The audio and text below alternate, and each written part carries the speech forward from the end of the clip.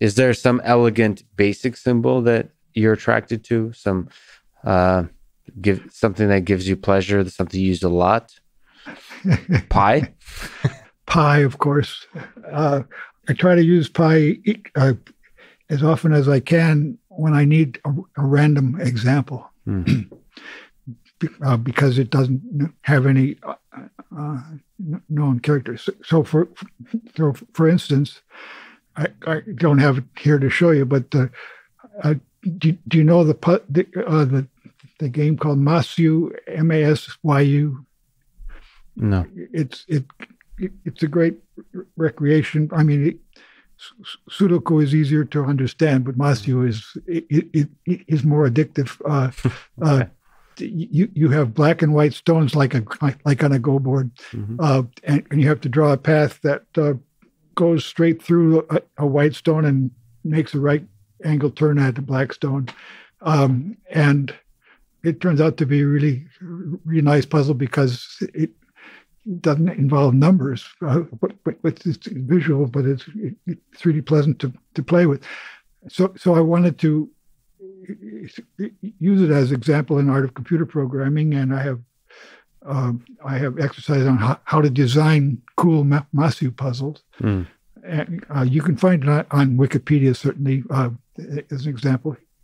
M A S Y U, mm-hmm. um, and and so I and so I decided I would take pi, the, the actual image of it, and it you know had pixels and I, I would put a stone wherever uh, it belongs in the letter pi, in the Greek letter pi, and and the, but the problem was find a way to make some of the stones white, some of the stones black, so that there's a unique solution to the Masyu puzzle. Mm-hmm it, it, that was a, a, good test case for my algorithm on how to design ma- Masyu puzzles because I, I, I, insisted in advance that the, the, stones had to be placed in exactly the positions that make a letter pi, make, make a Greek letter. okay. Pi, all right.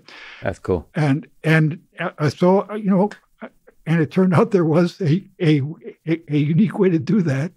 Um, and so, so so pi is a source of of examples where I can where I can prove that I'm starting with something that isn't canned.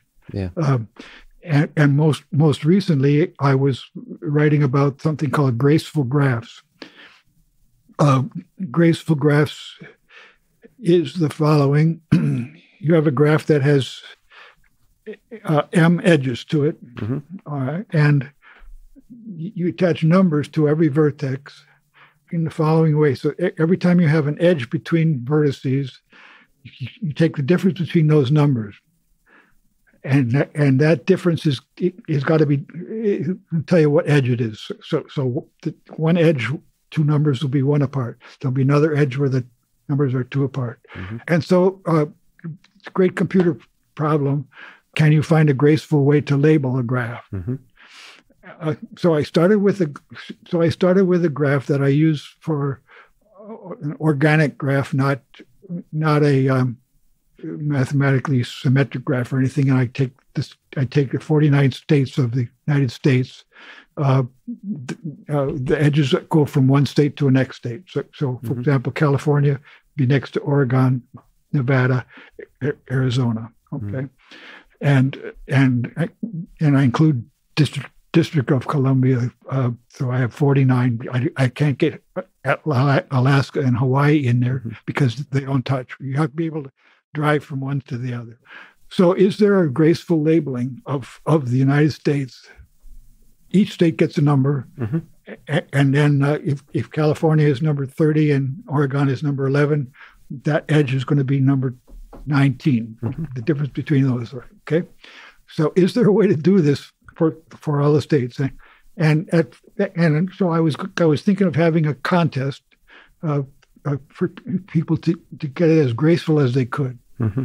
Uh, but my friend Tom Rokicki actually solved the problem by proving that. I mean, I, I, was able I was able to get it down within seven or something like that. Mm-hmm. He, he was able to get a perfect solution the actual solution or to prove that a solution exists? More precisely, I, I had figured out how, a way to put labels on so that all the all the all the edges were labeled somewhere between one and 117. but but there were some some ga- some gaps in there because it, I, I should really have gone from one to 105 or, or what the whatever the number is.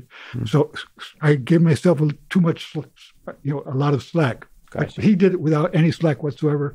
Perfect graceful labeling, and and so I you know I, call out the contest uh, because it, the problem's already solved and too easy in, in a sense because Tom was able to do it in an afternoon.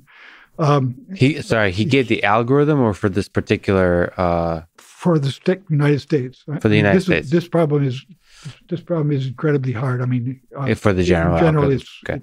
but it's like a, it's but like it was, coloring. But it was very lucky that it worked for the United States. sure. Um, I think, but but I mean, the theory is still very incomplete. But but but anyway, then Tom came back a couple days later, and he had been able to not only find a graceful labeling, but he but the, the label of Washington was 31. The label of of Idaho was 41, following the digits of pi. yeah. Going across the, the, the top edge No of the way. United States, he has the digits of pi Does he, perfectly. did he do it on purpose? he he was able to still get a graceful labeling with that With extra, with, with that extra thing. What? It- Wow. it- it- and Wow. and it, it, it it's it's a miracle. Okay, but Yeah. but um, I. Uh, I, I like to use pi in my book, you see, and, Yeah. and this is the All roads lead to pi. yeah. Somehow, um, somehow often hidden uh, in the middle of like the, the the most difficult problems. Can I ask you about uh, productivity? productivity. Yeah, you said that quote, my scheduling principle is to do the thing I hate most uh, on my to-do list. By week's end, I'm very happy. Can you explain this process to a productive life? Oh, I see. Well, but all the time I'm working on what I want, I, what I don't want to do, but still, I'm glad to have all those unpleasant tasks finished. Yes. Is that something you would advise to I- I- others? Uh, well, I yeah, I, I I I don't know how to say it. Well, during the pandemic, I feel my productivity actually went down by half um, uh, because I have to. Um, I, I have to communicate by writing, which is slow. I have to. I mean, I, I, don't like to send out a bad sentence, so I you know, I go through and reread what I've written and edit and Mhm. fix it. And so, so everything takes a long, lot longer when I'm when I'm communicating by by text messages um, instead of just in, you know on uh, together with somebody in a room. And it's also slower because the libraries are closed and stuff. But there's another thing about scheduling that I learned from my mother that I should pro- probably tell you, and that is um, it, it's different from what people in the robotics field do, which is called planning. Mhm. So, so she had this principle that was see something that needs to be done and do it. It- it- you know, it just instead of saying I'm going to do this first and I'm going to do this first, just you know. Uh, Just do oh, it. Oh yeah, pick this up. You know, But you're at any one moment, there's a set of tasks that you can Yeah. do. And you're saying a good heuristic is to do the the, the one you want to do least. right the one i haven't got any good reason to, I, I, I, I that i'll never be able to do it any better than I, than i am now uh, i mean there, there are some things that, that, I- that i know you know if i do something else first then i'll be able to do that one better Yeah. but but th- but there's some that are going to be harder because you know I, it, I, I, I'll have forgotten some of the groundwork that went into it or something like that. so so I just finished uh, a pretty tough part of the book and uh, and so and so now I'm you know doing the parts that are more fun. Uh, but but the but the, the other thing is as I'm writing the book, of course I want the reader to think that I'm happy all the time I'm writing the book. I, I, and, you know that it, it's upbeat. I, I I can have humor. I can you know I can I, I can say this is cool. You know, Mhm. wow, and this. Uh, I have to I have to disguise the fact that it it was painful in any way to come up. the road to that excitement is painful. Yeah. Yeah. It's laden with pain. Okay. Is is there um you've given some advice to people before.